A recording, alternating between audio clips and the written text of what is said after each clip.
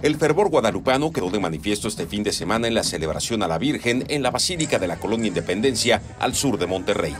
Desde el pasado viernes se empezó a incrementar la afluencia de danzantes y fieles católicos, pero fue a partir del sábado y durante todo el domingo que las peregrinaciones arribaron en cantidades importantes y las filas de creyentes parecían interminables llegaban desde distintos puntos de Nuevo León, incluso de otras entidades, y en promedio tenían que esperar de dos a tres horas en las filas para poder ingresar a la basílica. Pero la fe siempre fue más fuerte que el cansancio o el miedo a la pandemia.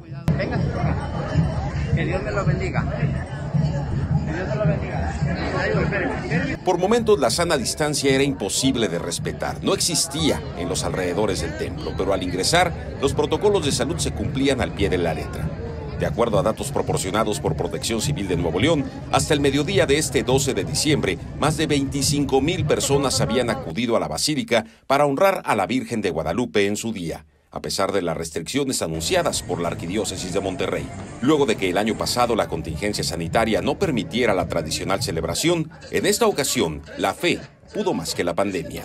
Con imágenes de Eladio Jiménez, Julio César Cano, Noticias 28.